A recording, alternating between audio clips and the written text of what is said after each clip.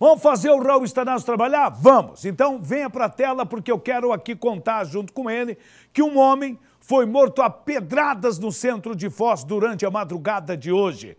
Ô, Stanazzo, que barbaridade, hein? O que se sabe sobre esse crime, rapaz do céu? Conta aí.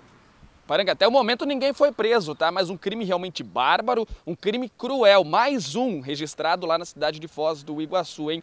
A vítima realmente foi morta a golpes de pedra, pedrada. Esses golpes acertaram principalmente a região do rosto, a cabeça. Esse caso foi registrado durante a madrugada de hoje. Foram populares que encontraram a vítima identificada como José Gilmar Martins, que tinha 52 anos. A vítima ela estava caída em via pública na rua Almirante Barroso, região central da cidade de Foz do Iguaçu.